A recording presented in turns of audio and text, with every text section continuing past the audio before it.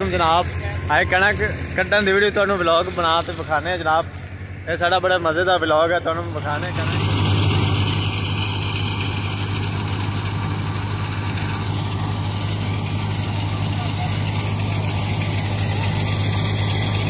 ਆ ਬਹੁਤ ਦਾਣੇ ਥੋੜੇ ਇਕੱਠੇ ਕੀਤੇ ਜਾਂਦੇ ਨੇ।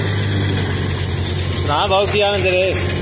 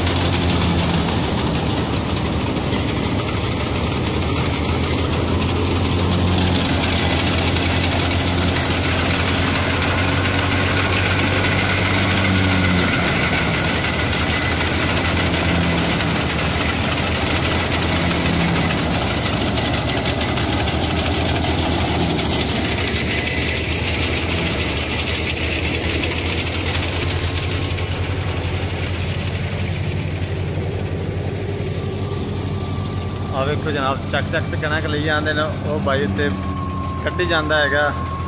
ਆ ਟਰਾਲੀ ਇਹਦੇ ਸਟੋਰ ਕੀਤੇ ਜਾਂਦੇ ਨੇ ਬੜਾ ਫਾਇਦਾ ਹੈਗਾ।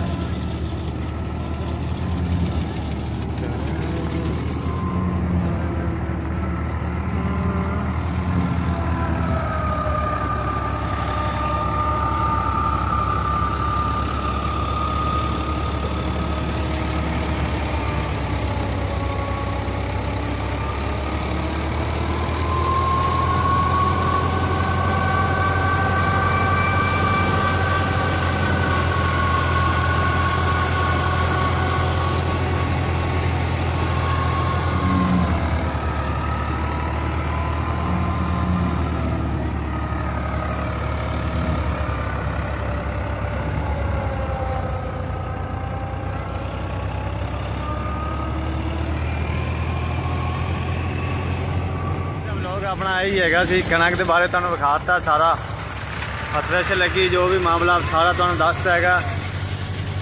ਮਿਲਤੇ हैं ਅਗਲੀ ਵੀਡੀਓ में ओके अल्लाह